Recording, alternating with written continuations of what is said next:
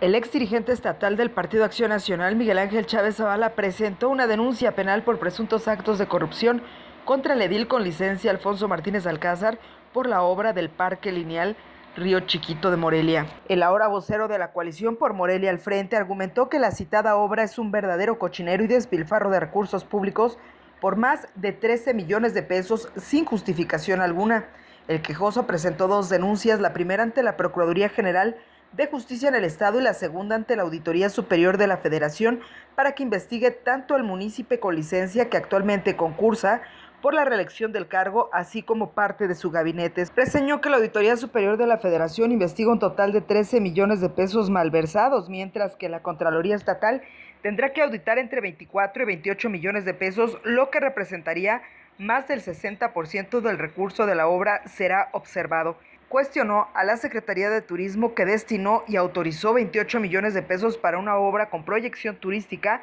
que se construyó en un río de aguas negras. Chávez Zavala acusó a Alfonso Martínez Alcázar de haberse despachado con la cuchara grande en la administración pública municipal y exigió a las autoridades correspondientes investigar a fondo la malversación de recursos públicos.